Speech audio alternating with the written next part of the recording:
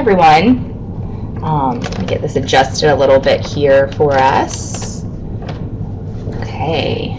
Um, so um, I'm Megan Rigoni. I'm one of the behaviorists here, and I'm going to be um, facilitating today's virtual group for those of you who are tuning in today. If you wouldn't mind, just uh, type in right now and let me know if you can hear me and see me. Um, if you're having any issues, let me know.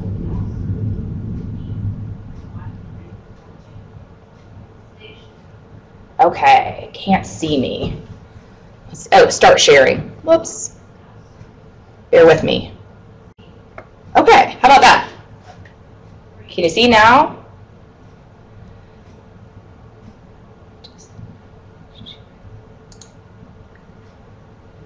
Oh. All right. Okay, you can see and hear me. Looks like, Kim, are you struggling? Having any trouble? Um, anyone still having issues with seeing me? I will be honest, this is only my second time doing this, so I am learning. Um, okay, Kim, you can only hear me. And are you on your, um, you're on your cell phone?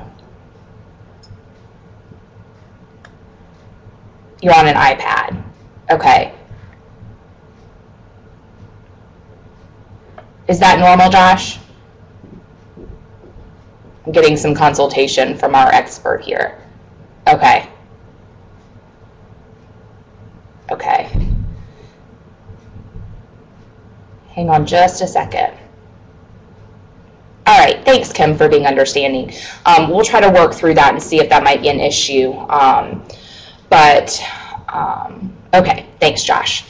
All right, so um, welcome today. Thank you so much for tuning in. Um, several of you have um, probably done this before, but if you have any questions, um, we are a recording group today, but we do anonymize uh, your names. So please feel free um, to participate by uh, typing in and responding when I ask questions. Um, you know, no one is forced to um, respond, but it's very helpful for us to have the input and still get to interact with each other. Um, Anybody have any questions before we get started? Okay. Um, and I will respond. Okay, thanks, Stu. Um, I will respond by speaking to you um, uh, rather than typing if you have any questions. Um, so, today we're talking about building social support. Um, so, why can't I just do this on my own, right? I mean, I signed up for this program on my own. Um, or though some of you may have signed up with family members or, or coworkers. Um, but oftentimes when I'm meeting with patients in behaviorist visits, um, they'll share with me trepidation or concern that um, they're not ready or don't know how to talk to others about this journey that they're on. Um, and oftentimes people will um, will hide this, will want to not talk about it with people in their life. Um, any of you here, if you're comfortable, um, want to share with me any reasons why you may not want to share this with people, why you might have been concerned or taken pause before you shared your weight loss journey. Um, wait just a minute.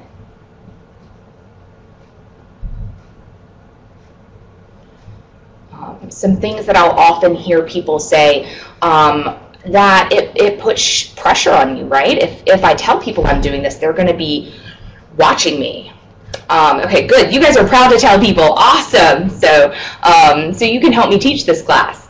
Um, uh, but so as Stu says, it's a common thing. Most people have done it. So that's kind of a, a good thing about social support, right? A lot of people can normalize for you. Oh, well, you know, I've tried to lose weight before too. And you may find that people ask a lot of questions that are inspired by you. But I think that there is the other side to that. Some people are very uncomfortable being under the microscope. And perhaps sharing this um, does add to the accountability. Others are going to be watching me.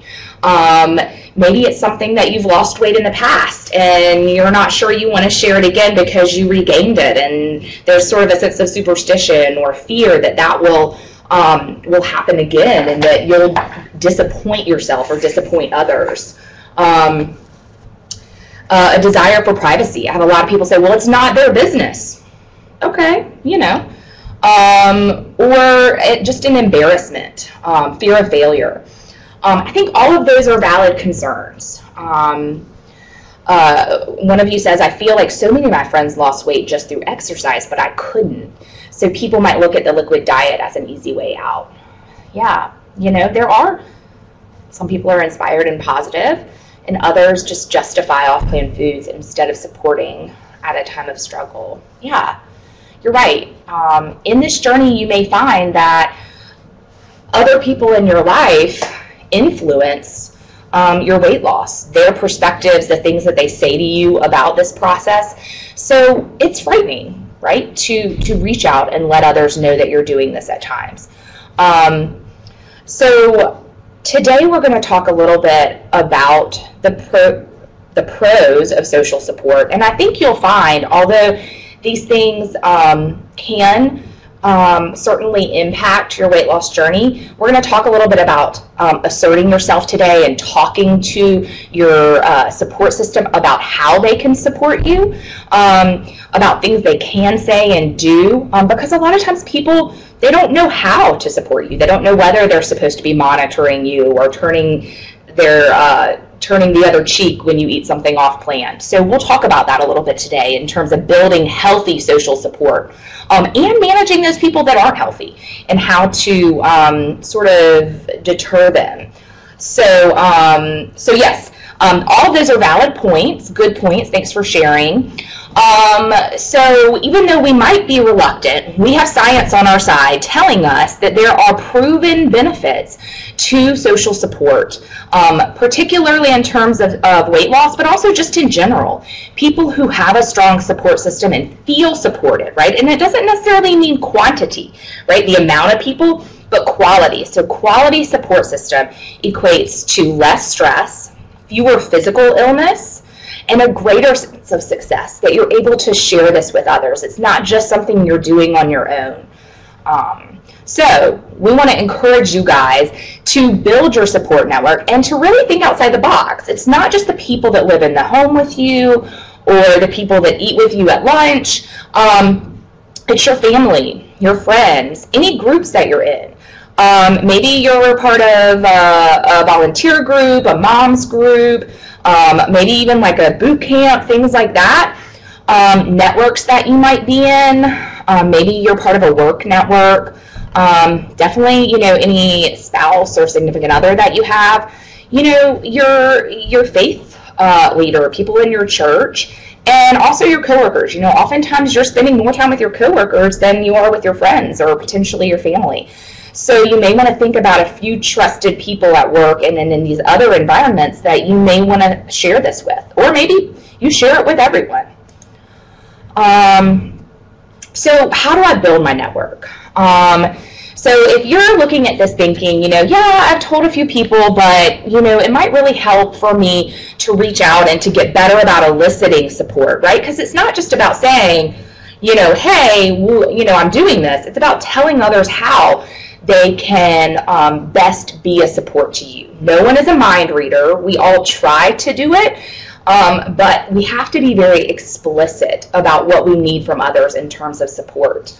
Um, so first, um, you want to state your intention to achieve a healthy weight, right? So um, someone mentioned earlier that people may have judgments about doing a liquid diet or about doing a program like this. People are going to come into it with um, sort of their own perceptions of weight loss.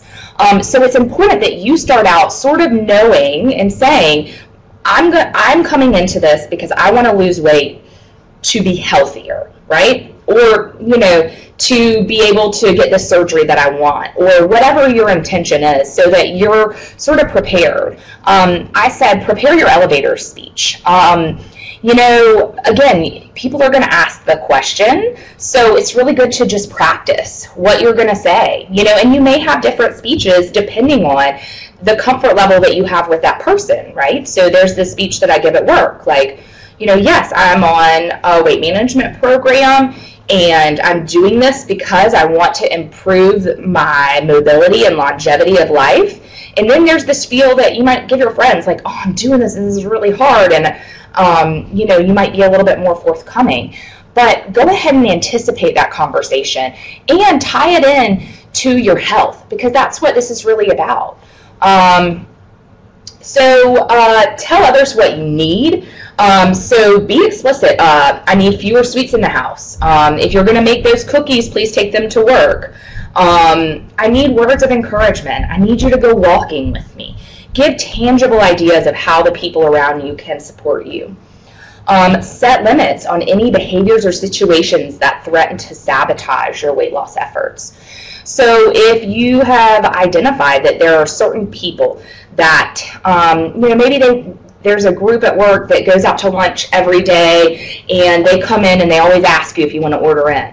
Um, maybe you go ahead and say, you know what, um, I really appreciate you guys trying to include me, but why don't, you know, next time you don't need to ask me, but if you guys choose to go, um, you know, to blank restaurant, then let me know because I, I can get something there that, you know, will fit into my plan. Um, and avoid negativity. You know, if there are people, um, that have made negative statements to you, um, have said this is an easy way out, you may know that that's really not the person. You might still be able to reach out to that person about, you know, your struggles with your children or about something else in your life, but that may not be the person that you want to include in this process. Um, you may want to avoid that negativity.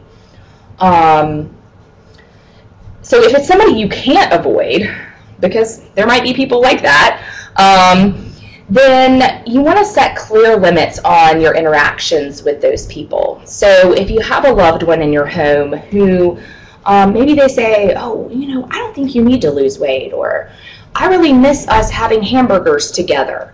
Um, you really want to set clear limits with that person.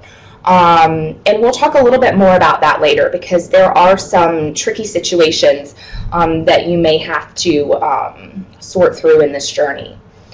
Um, give constructive feedback. Uh, oftentimes, um, when others um, are not attuned to our needs or are not supporting us in the way that we want or need, we become angry. Um, and then we may become blaming or accusatory. And what I mean by that are you statements. You always bring that food into the house and you're making me fail. Um, you never go on a walk with me. Um, and when we approach people with those types of you statements or blaming accusations, we automatically put them in a defensive posture. I think about it like two porcupines, right? If one puts up their quills with accusations, the other person is also going to put up their quills. And so you're less likely to have a productive conversation and get your needs met. So you really want to think about giving constructive feedback. So one thing that's really helpful with that is coming in saying, you know, an I statement. You know, I feel really unsupported when you choose to sleep in on Saturday morning rather than going on the walk that we promised we would go on. Um, I know this is really hard for you, and we'll talk a little bit more about how to discuss these types of topics later. But be sure to approach it from a constructive place, not a destructive place. Um, tell others to applaud your successes. Um, oftentimes, that's a really easy way to just say out loud, you know, um, tell me when I'm doing well, give me positive feedback, but if I grab the bread um, at the table and slather butter on it, you know, don't slap my hand or, you know, remind me, um, unless that person is sort of your accountability buddy. Um, but oftentimes that can set you up to feel watched or monitored, and then at times you can rebel against that. So you really want to get good about knowing, and you may tell someone up front that you want them to do that, and then when they, you know, kind of jab you when you order that thing on the menu, you find that that hurt your feelings or you didn't like that, continue to give them feedback about that. And don't take it personal. Often others um, are responding to your weight loss journey because it brings something up for them about their own body or their own relationship with food. So it's really helpful to take a step back and think about how um, how this person's reaction may be more about them than about you. Um, um, so some people might, you know, I'm losing my eating buddy. You know, I used to have this friend that we would, you know, sit around and eat cookie dough and watch movies together, and now they're trying to lose weight, and I'm mourning the loss of that friendship. Um, has anybody else had um, a person in their life that during this weight loss journey has been less than supportive, um, and it's perhaps more about that other person's own journey? Um, feel free to share if you if you're comfortable with that.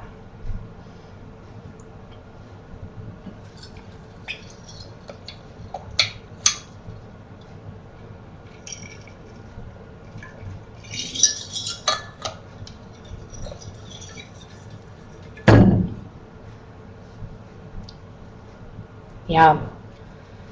So having friends that um, don't understand that you turn down that glass of wine or that margarita when you guys go out to dinner. Um, being made to feel guilty because you've changed the routine. Um, yeah, I mean, I, I think um, we as a society, we socialize through food and drink. And so you're changing the rules. Um, I think of any relationship like puzzle pieces, right? They fit together in a certain way. And you are making this decision, this awesome life-changing decision to change your puzzle piece, right? You're you're not you're different. And so you may not be fitting together with other people in your life quite the same way that you did before. And that doesn't mean that you can't still keep these friendships and relationships. It just means being really open and honest with them about why you're doing this, that you're not doing this because you know, you want to make them angry or not participate or because you look down upon your friends who are having the margarita or who still want to sleep in on Saturday morning, but that because you're changing, that may require some change on their part as well. And, um, and it's important to acknowledge to them that your change in routine is affecting them and to talk about it. Um, but yeah, it's, it's a difficult topic. Um, okay. Um, one thing that you can really do is, you know, your friends who, uh, you know, typically you guys are getting together for a wine night, a beer, um, or maybe you guys are typically, you know, going to a movie on Friday night. Um, you might want to team up with some of your friends who have a similar goal, who want to lose weight or want to, you know, run a marathon or this or that, and really sort of invest a little bit more time in those relationships right now. And then the other relationships, you might want to offer alternatives in terms of, um, you know, instead of going out for a drink, could we go for a walk? Could we do this or that? Okay. So don't forget about the resources that are right in front of you. You know, I'm talking here about a lot of difficult conversations, but there are some relationships that, you know, this is right in front of you. So pick up that support um, particularly from us here. Um, you know, let us know about these conversations. We can role play it, um, especially in behaviorist visits. I love to role play. Let's have this conversation. Let's practice what you might say to someone else. You can bring a family member um, or close friend into a behaviorist visit with you, and we can talk about it in there. Um, attend these groups and reach out to each other, right? You're um, one thing that I think Stu or someone said early on is that a lot of people have been through this before, um, and particularly in this group. So if you can connect with people here, they can say, "Oh, you're right, that's happened to me, and here's how I handled it." Um, find a weight loss role model. You know, maybe it's somebody in the program. Um, maybe it's somebody at work and pick their brain, go to lunch with them, go for a walk with them, find out what keeps them motivated. Um, and be your own support system by creating um, a, sort of some rewards for yourself, right? So food's a really strong reward system, right? I mean, I know that since I was a little girl, right, I've been getting, you know, a, a sucker at the doctor's office, um, you know, a donut after, um, you know, the dentist, whatever it is. We, we have rewarded ourselves with food all our lives, perhaps. So now is time to start supporting yourself and rewarding yourself with things that don't involve food. So, um, listening to your favorite music when you exercise, Uh, you know, get on some blogs, weight loss blogs. Um, read inspirational stories. Um, we have a, a, list of books that we can give you. There are lots of great books out there um, that can inspire you in this journey. Um, do things like uh, making your desk a, a, nice, enjoyable place to be. Fix up your house. Um, create a vision board to keep yourself invested in this process. And um, sometimes it's just about phrasing this for yourself. I had a patient who once came to me proudly and said, you know, I walked by that Haagen-Dazs place in the mall and I thought, oh, I really want to treat myself with a chocolate covered strawberry. But she was able to change that thought and to say to herself, you know what, I'm going to treat myself by walking right by this store and not stopping. Sometimes it's about the words that we use in our head. Being able to say to ourselves, I'm actually treating myself by saying no to this because I'm preventing myself from feeling the guilt and misery that I would feel after I ate it. Um, so sometimes this is a, a, game that we play um, with ourselves in our minds. Um, so it's really important with your support system to sort of constantly be aware of whether your friends, family members, other people around you are supporting you or are sabotaging you. Um, and that kind of comes into play when you have friends, family members, coworkers who, um, I love this uh, uh, cartoon here, um, who sort of justify off-plan behaviors. Um, so uh, this cookie is is talking to this woman, right, saying, um, "Come on, it doesn't matter anymore. One of me is essentially the same as a hun- hundred." Um, and and there are all these voices and, and sort of people in your life right those friends out to dinner who are all having that glass of wine or ordering that burger that are sort of kind of sabotaging your efforts. Has anyone experienced a situation like this where someone in their support system actually became part of uh, i guess a saboteur? Someone who's sabotaging their journey?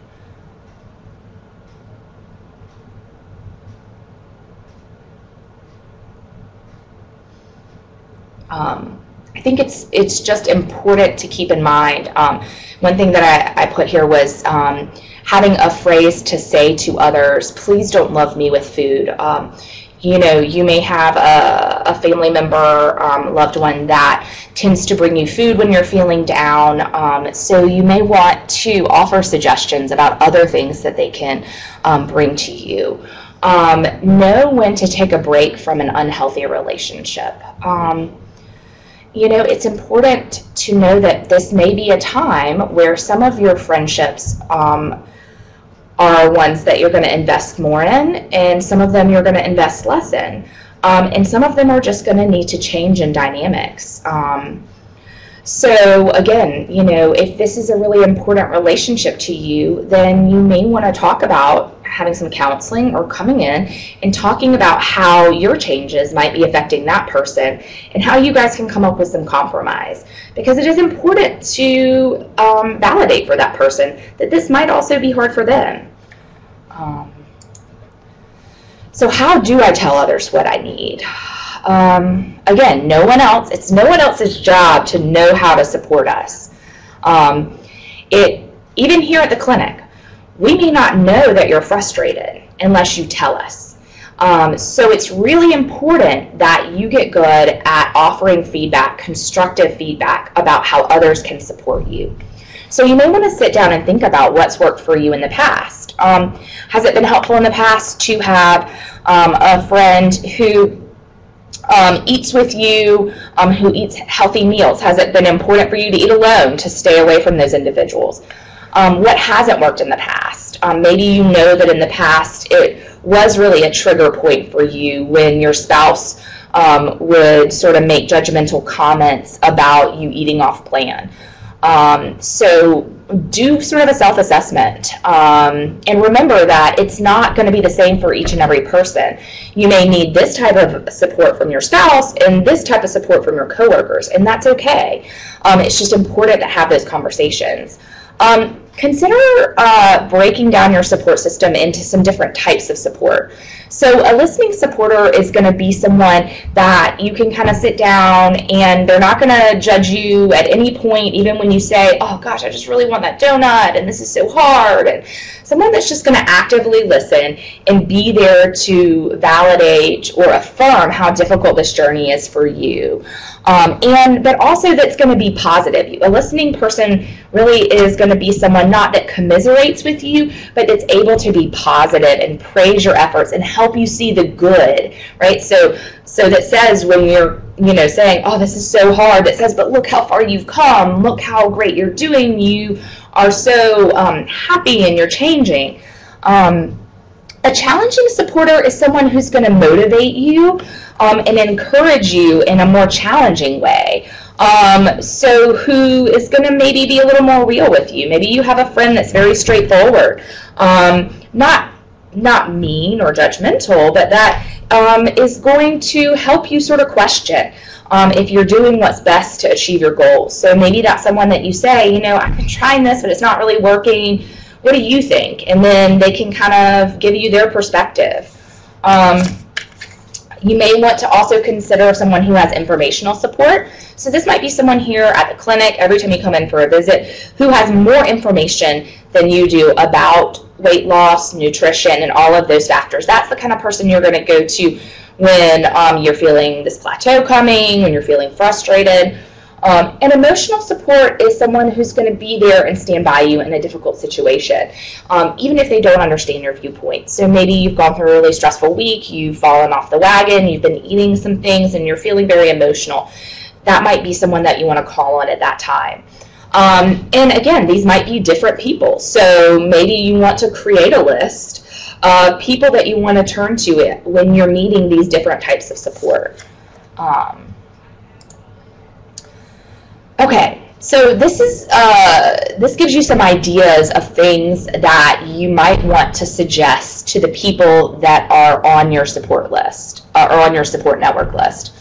Um, so again, each person is going to be a little bit different, but these are some suggestions that um, we found can be helpful um, to different people. So um, for some people, you may want to um, ask them to just ignore this process. Um, that you'll reach out to them if you need their input, but that you know on a day-to-day basis you really don't want to be this might be for someone who does feel that fear of being under the microscope you know just say i really you know don't want to talk about it and that's okay um, praise my successes ignore my setbacks um, this might be someone that you live with. Um, can you please avoid leaving out snacks in plain sight?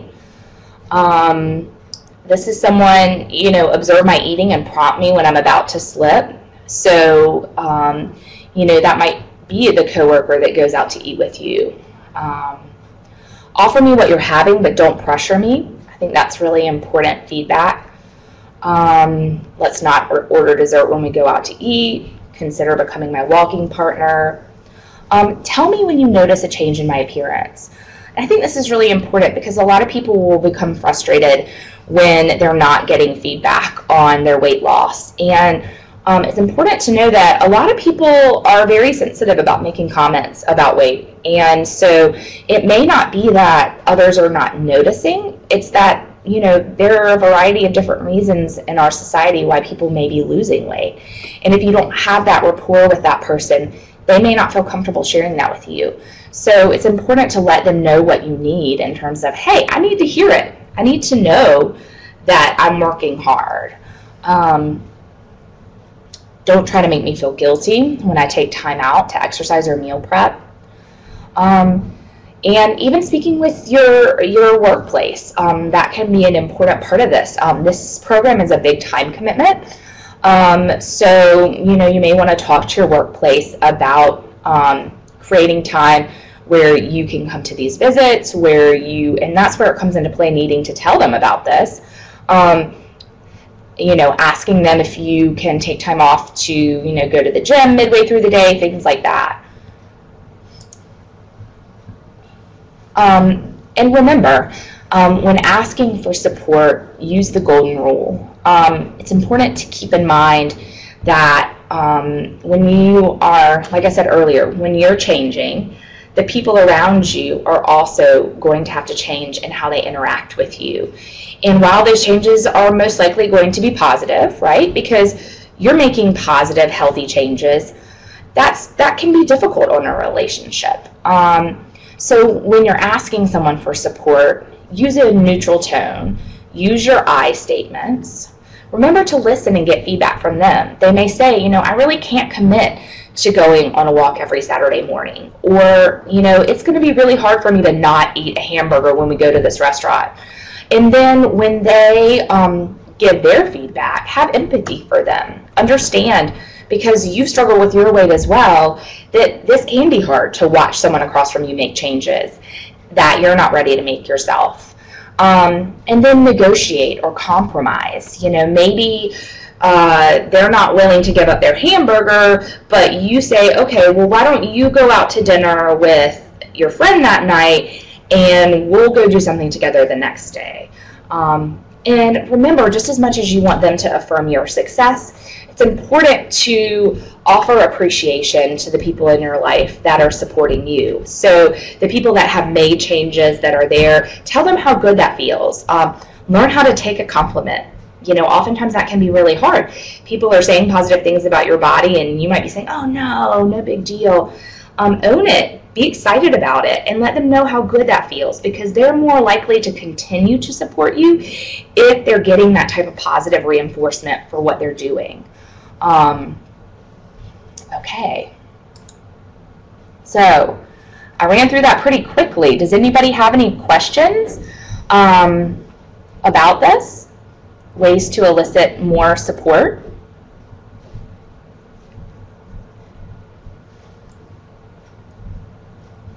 Nope. No? Okay. All right.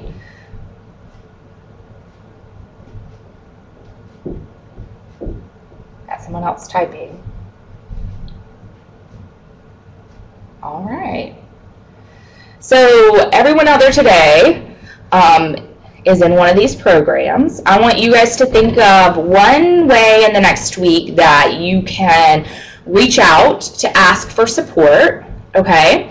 Um, and I want you to challenge yourself um, to um, try something new, reach out to someone new, um, and use some of these techniques, okay? And um, if you uh, want to report back to us in next week group, we would love to hear about it. So, um, so remember, I'm gonna close out the group today, and when I do, it will direct you to a, um, a survey, and if you fill that out, then you will get a Perka point um, for your attendance today. Um, you are lucky, Stu. I'm really glad that this is an issue for you. Um, thank you guys for being here today, and um, any if you have any other questions, let us know. All right.